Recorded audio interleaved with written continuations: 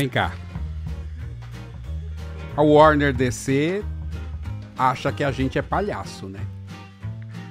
Olha, essa última informação do que vai acontecer no universo estendido da DC. A DC tá achando que a gente é palhaço. Bora pro vídeo.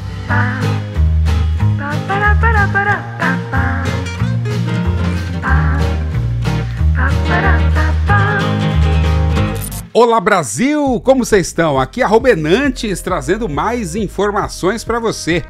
Pô, já faz uns três vídeos que a gente grava com essa mesma camiseta aqui, ó. Pô, mas essa daqui eu tenho que realmente homenagear. Porque o que a DC tá prestes a fazer, vou te falar, é. Eu não sei o que pensa mais não, mas tudo bem. Eles estão lá, eles que vão oferecer o entretenimento para nós. Calma, eu vou explicar para vocês o que tá acontecendo. Lá em 2003, no longínquo ano de 2003, não, 2006, né? É, acho que foi 2006. Se não for, vai aparecer o ano agora aqui. A DC resolveu entrar no jogo dos super-heróis e estreou o filme O Homem de Aço com o ator Henry Cavill que teve muitas críticas, teve uma recepção mista, algumas pessoas gostaram, outras pessoas não gostaram, e eu confesso para você que a primeira parte do filme que mostra Krypton é muito boa, depois o filme ele cansa, é incrivelmente, eu não sei porquê, mas o filme cansa, né? Gastaram o General Zod muito cedo, mas enfim, estrearam esse filme lá. Aí a Warner DC resolveu entrar no jogo e lá aquele filme do Homem de Aço não tinha nada externado, não tinha nada plantado. Aí a Warner resolveu fazer o filme Batman vs Superman, que aí foi a sementinha para a Liga da Justiça, sem antes passar, óbvio, pelo filme do Esquadrão Suicida, a primeira versão, depois teve Mulher Maravilha, que também contou um pouco o personagem, que aliás era o certo, né? Cada herói deveria ter a sua história contada em algum filme e aí depois você ter o Liga da Justiça, para não precisar fazer um filme de quatro horas, não é verdade? Acontece que deu um quiprocó, esse filme acabou é, não indo pro cinema, contrataram o Joss Whedon para deixar o filme mais marvelizado, e aí foi aquele fracasso, foi terrível.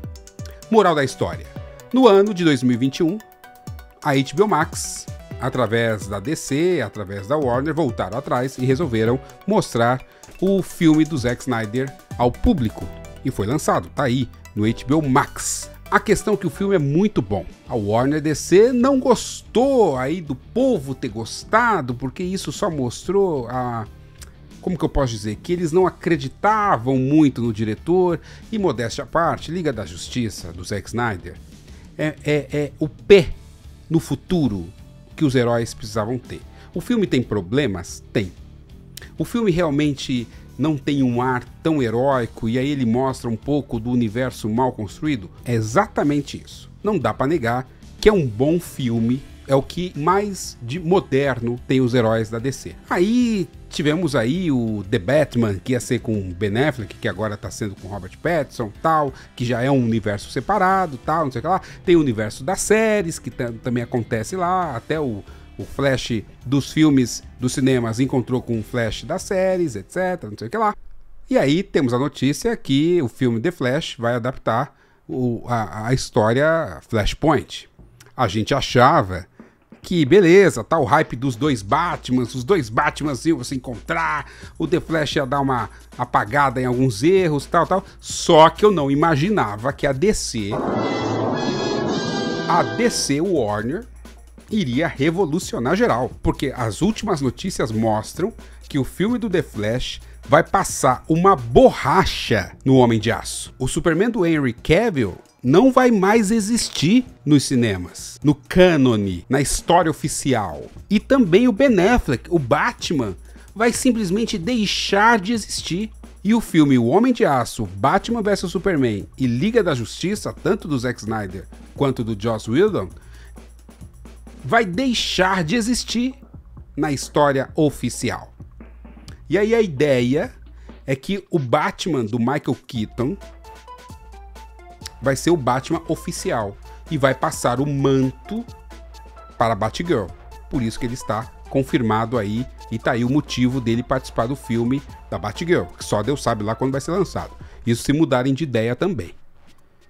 E aí o Superman do Henry Cavill vai deixar de existir e a Supergirl, que será apresentada no filme do The Flash, vai se tornar oficialmente o posto do Superman. E a nova Liga da Justiça será formada com essa Supergirl, com a Batgirl, com a Mulher Maravilha, com o Aquaman e o Shazam.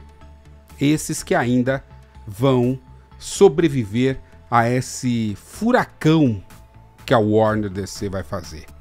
E olha, se você está gostando desse vídeo, clica no curtir, inscreve-se no canal, comenta o que você acha dessa informação. Eu quero saber a sua opinião. Você concorda? Ela está indo para o lugar certo? Ou realmente é um retrocesso e a gente não sabe o que vai acontecer? Quero muito saber a sua opinião, tá?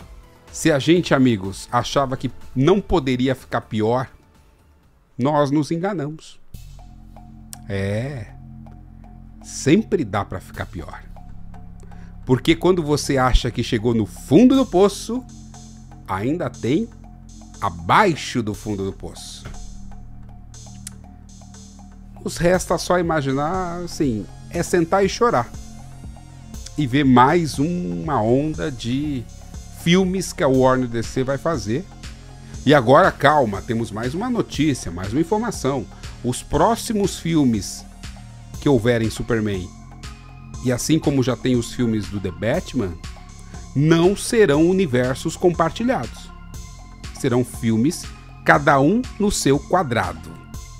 Cada um vai contar sua história sem uma ligação nenhuma. Então, se você achou legal uma interação, por exemplo, da Mulher Maravilha com o Alfred, o próprio Alfred falando de Lex Luthor como vilão, o próprio Batman falando de Luthor. Se você achou legal esses universos se misturarem, esquece pro futuro. Aproveite que ficou no passado, porque pelos rumores que vem por aí, esse é o novo futuro sombrio da DC. É isso, meus amiguinhos. Mais informações, só Deus sabe quando vamos postar agora que o ano começou aqui no Enantes Geek. A partir de agora é desconectando em 3, 2, 1.